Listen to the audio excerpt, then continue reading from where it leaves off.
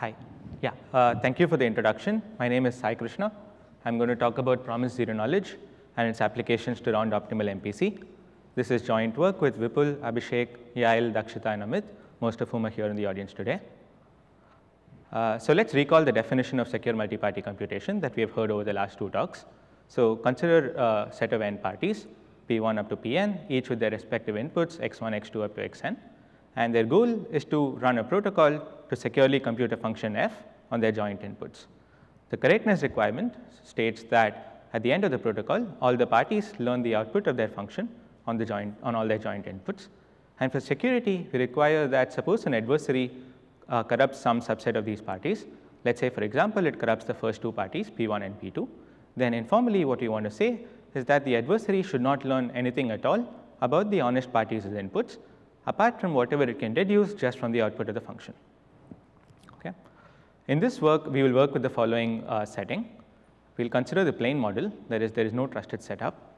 We will consider a malicious adversary that can corrupt up to all, all but one of the parties, that is, this is a dishonest majority of parties.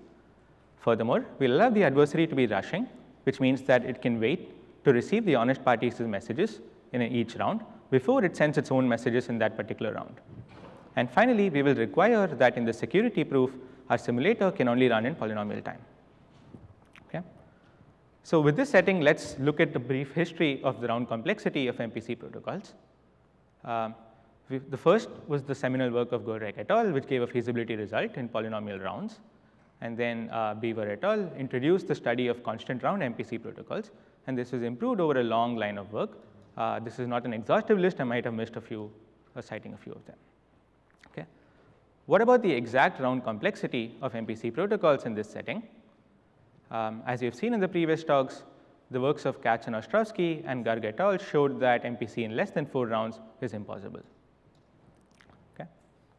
And um, this brings us to the work, in, work about four round protocols. So last year, Ciampi et al. showed how to build two-party computation in four rounds. And then two concurrent works of Brakerski et al. and Ananth et al. showed how to build four-round MPC protocols from sub-exponential time assumptions.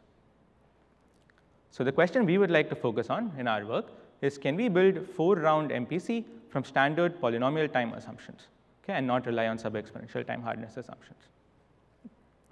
Uh, we answer this question in the affirmative so we build a compiler that takes any two-round semi-malicious secure MPC protocol and transforms it into a four-round malicious secure MPC protocol, assuming only two-round oblivious transfer and dense crypto systems. Okay? Note that a semi-malicious adversary is very similar to a semi-honest adversary, except that it can pick bad randomness. Okay? And uh, we know that all these primitives, including the two-round semi-malicious MPC, can be instantiated only from DDH alone or quadratic residuosity alone or the nth residuosity assumption alone. And recently, in a work by Brakerski and Döttling subsequent to our work, it was shown that these primitives can also be instantiated only from LWE alone. Okay? By plugging in these assumptions, the corollary we get is we achieve a four-round MPC protocol, malicious secure, only from DDH or quadratic residuosity or nth residuosity or LWE and this completes the line of work on round optimal MPC protocols.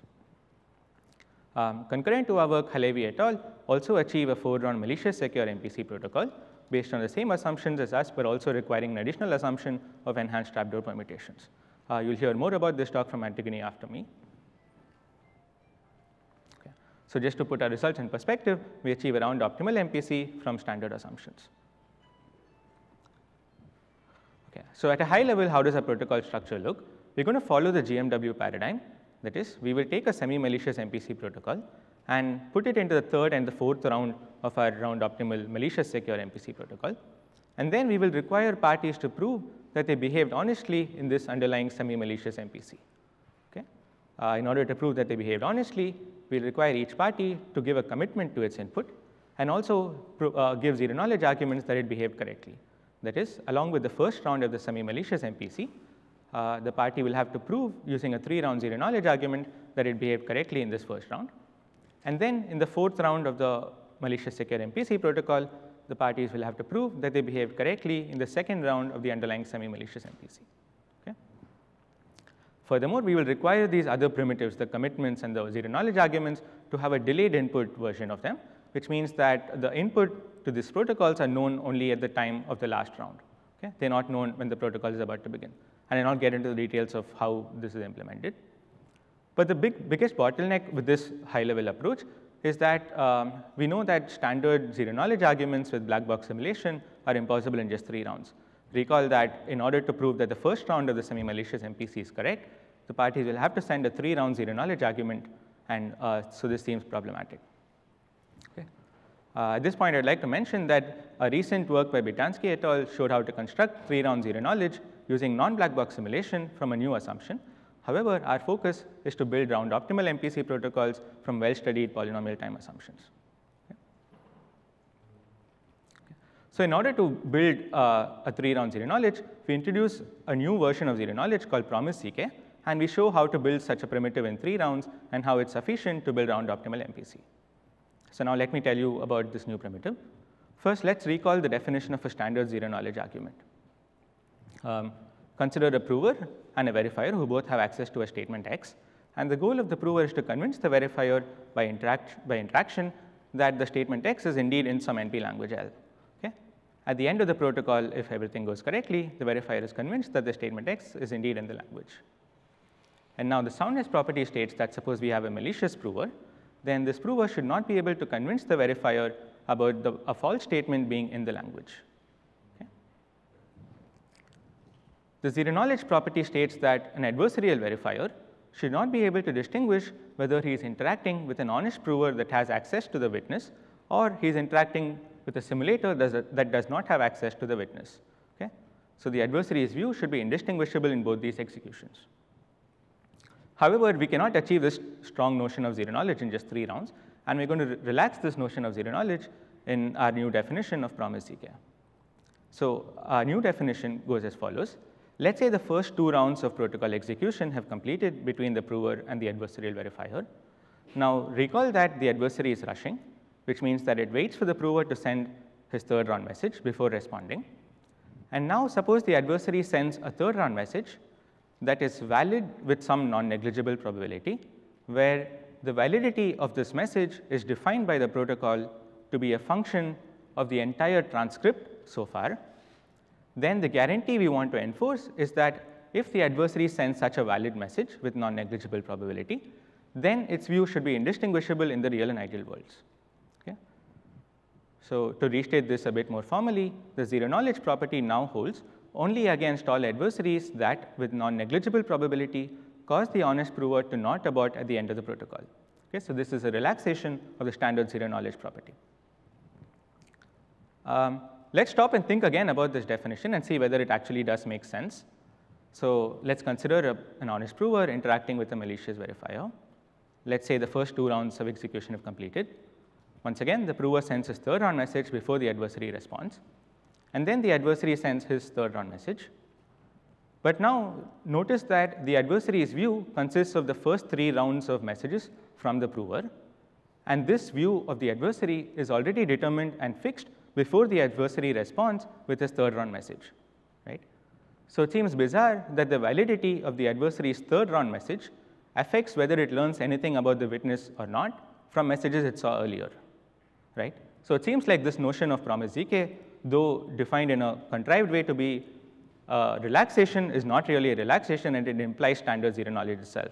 So if you can hope to build promise ZK in just three rounds, it might imply standard ZK in three rounds, which we know to be impossible from black box simulation.